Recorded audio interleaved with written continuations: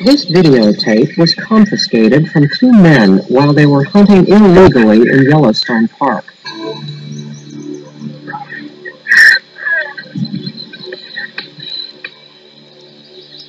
On this day, they slaughtered nine elk. To them, it was just a business, but to others, it was murder.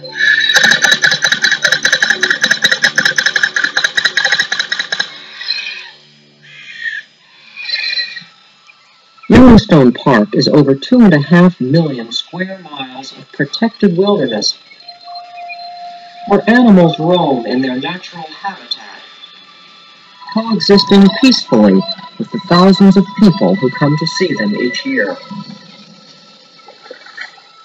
One of the main attractions at Yellowstone has always been the wild elk with their magnificent display of antlers.